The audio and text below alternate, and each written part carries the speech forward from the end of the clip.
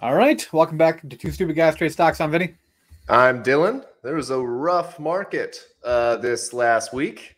We are gonna look at some market analysis, maybe where this might bottom, catch a falling knife, if you will, and Vinny's gonna walk us through uh, some ways of profit, which is for some reason no one's talking about.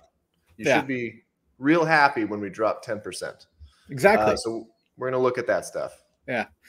All right. If you guys enjoy this kind of stock market content with Two Stupid Guys Trading Stocks, by all means, give us a like and subscribe below. We'd love to have you along on this adventure. With that, we'll get to it.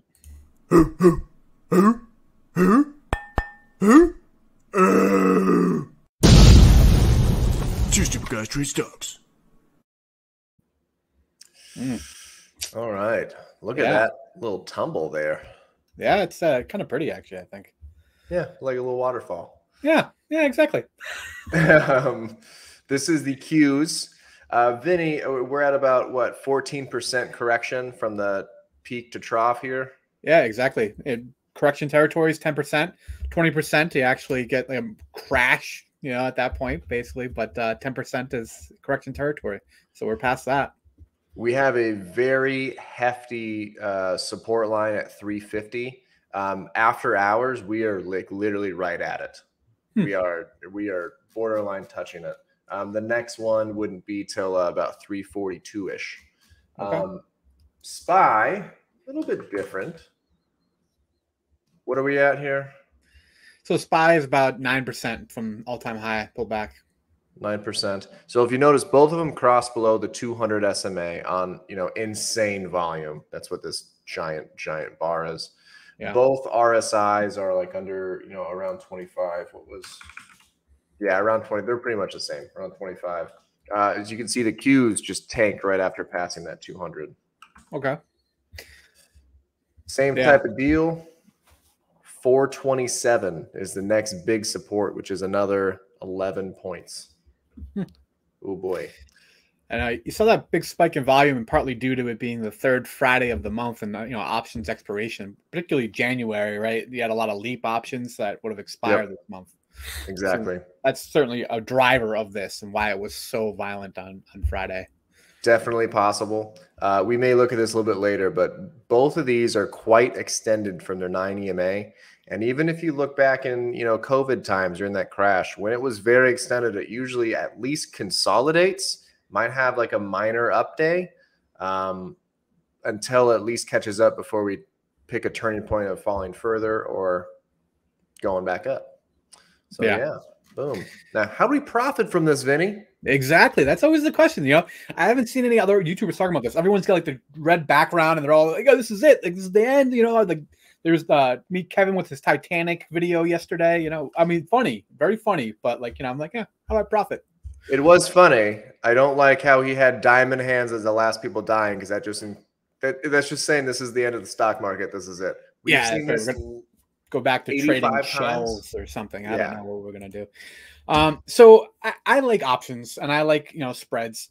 Uh, it's a way to limit your risk uh, while being able to to kind of play a, a bias in terms of direction um, over a certain period of time.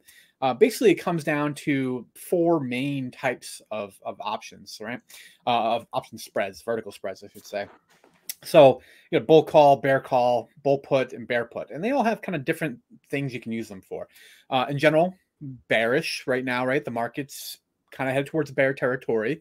Um, so you want to look at the two bear options, bear call and bear put. The bear call has the added advantage of being a net seller of options, right? So when the What does implied volatility is, is high, option prices go high. And they tend to revert towards the mean, meaning that it, a bear call spread has two things working for you in terms of the market going down, but also like your volatility will contract over time. So there's two ways to kind of profit with a bear call spread. At least Right. my Just to clarify, being a net seller of options is usually more profitable than buying. Yeah, yeah. So you know, there's some debate about how many options actually go on exercised. I think I put even a slide in here about that. You did. Um, but uh, it's overall, I I personally prefer to be a net seller of options rather than a buyer. You know, buyers, Wall Street bets. You know, that's kind of thing. You know, buying the weekly out of the money options and hoping of, you know, taking your portfolio up into crazy stratospheric numbers in a short period of time. Right. You're hoping for a 5x trade. Yeah. I, would rather be the casino, the house, rather than the actual person gambling at the casino. Mm, that's a good yeah. analogy. Um, so put debit spread. This is one of the two options. Um, basically, you're going to buy uh, an option and then you're going to sell another put option. Kind of so you have this defined risk. Um, your your max loss in these is what you outlay because you're going to uh, outlay cash up front. Right. Yeah. Call credit spread. It's kind of the opposite. So I'm I'm selling a, a call option and then I'm buying one that's higher. So I'm going to receive cash up front. Right. Right. And as long as the stock closes beneath my short option, the one I sold, then I'm a, I would be at max profit. So th- these these graphs kind of tell you that there's a defined risk. That's what they that's why they get these flat lines. There's a maximum loss and a maximum profit. Right.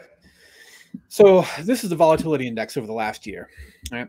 You notice it tends to kind of spike up and then come right back down. This is what I was talking about why being a net seller of options is usually a better idea because uh, you know, it actually the volatility tends to revert towards the mean. We've kind of established a new higher mean since COVID. Um, you know, we've been hovering, say, right around this this 20 mark for for a while, right? Mm-hmm. Um, if you go longer term historical, the, that volatility was actually significantly lower. This is this is when you're talking about pre-COVID, more like mid-teens. So we're still more volatile than we were before COVID. Right. You know, this is a huge bummer because I had a bunch of calls sitting if it hit $15 about two months ago. Yeah. And it didn't. Yeah. I don't know if we're going to be getting back there anytime soon. You know, the, the number of people trading options has gone a lot higher. There's a lot more demand for options.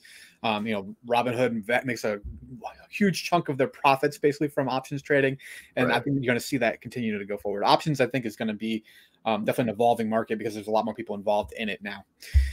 So, you know, this is that question about most options expiring worthless. Hard to know exactly. The CBOE, the um, Chicago Board of uh, Options Exchange, says only 10% are exercised, but more than half of them are closed early, 55 to 60%. So, right. Which really are all all of my calls are closed early. For the most part, I do too. Um, so here's the here's the two trades I put on on this past Friday.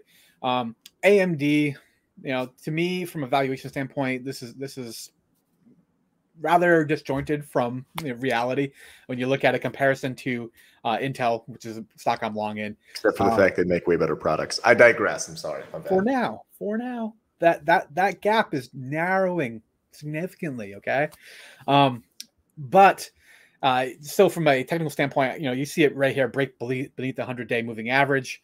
Um, they said on a kind of longer term valuation basis, I thought that needed a pullback anyways.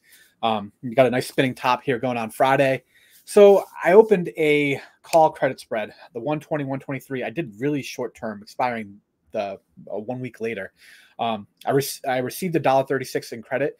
My max loss in this one is equal to the width minus my credit. So it'd be $300 minus 136. What's that? One sixty four. It'd be my max loss on this. Um, mm. As of close Friday, this was about uh, worth about a dollar 19, about 12.5% profit. Because, um, you know, AMD was at 118 at close on Friday. Did you buy multiple of these or just one? I just did one. This is this is this is in my old like Robinhood account. Uh, that's still where I am doing this sort of stuff. yeah. You can that that's one way to do it. If you like to trade, you can you can do multiple of the same contract. I don't typically, but um, that's because that's a very small account and that's kind of my crazy wild trade account.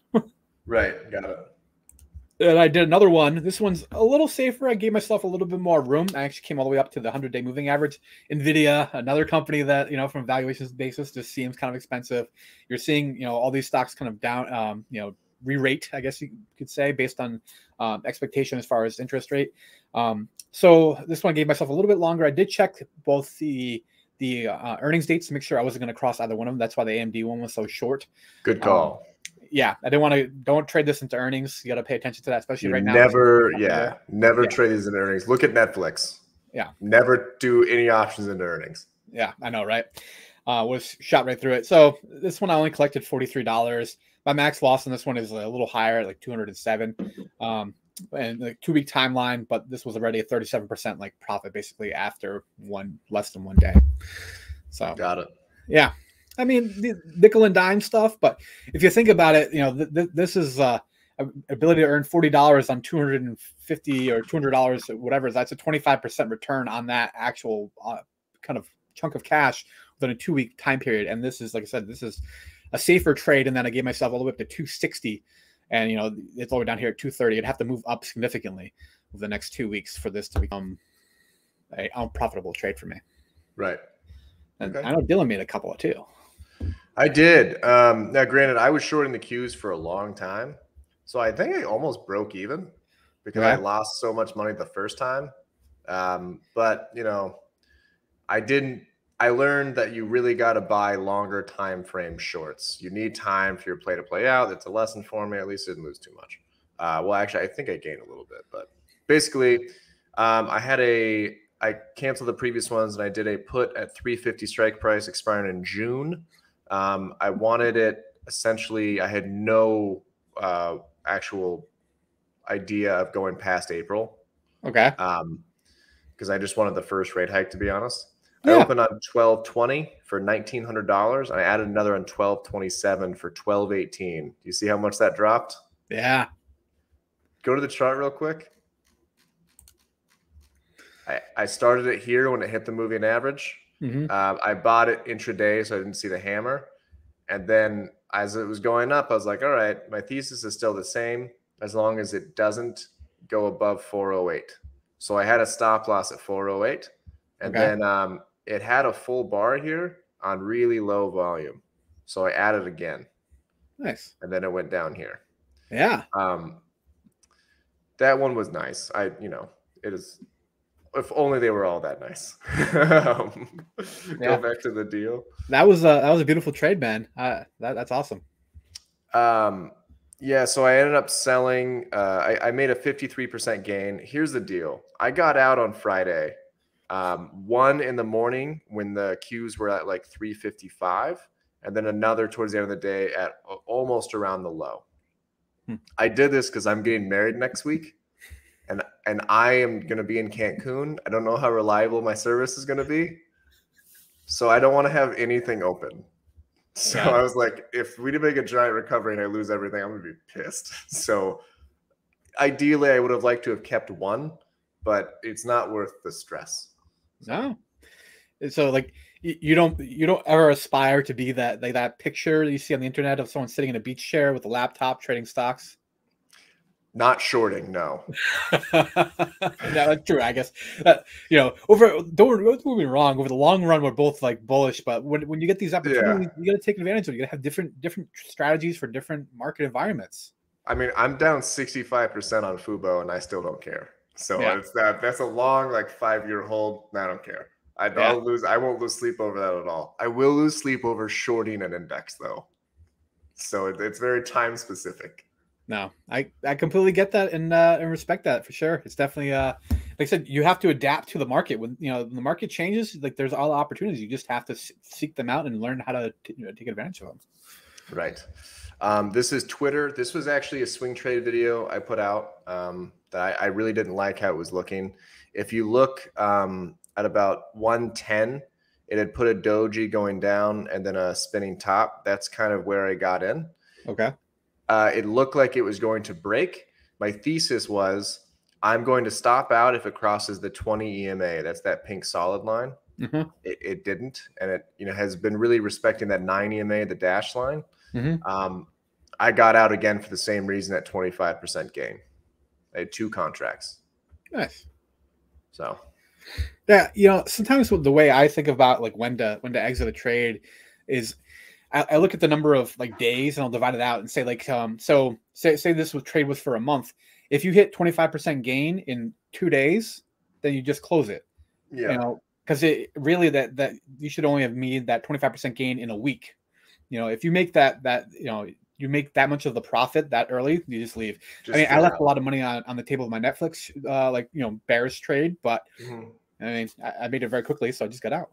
Yeah, but you also couldn't have seen a 20% drop falling.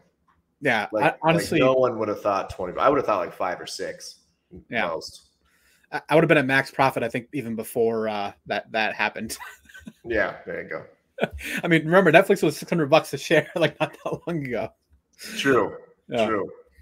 Um, yeah. So if you're, you know, stay calm. This is a buying opportunity.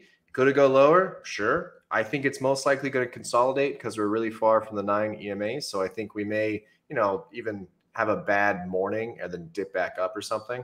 Um, you're looking for hard selling volume in the morning with a hard buyback in the late afternoon, preferably the last hour. And that's how you know if we're going to kind of stay put for a little bit. Interesting. So, smart money comes in at the last hour of the market. Yeah, which is why you saw the acceleration towards the downside on uh, Friday afternoon. Yep, and that's when I got out. I was like, Yep. all right. yeah, good times. All right, guys. So let us know. Like, uh, you going to take advantage of any of these kind of opportunities to make money this different market environment? Yeah, it should be pretty solid buying. Thanks, guys.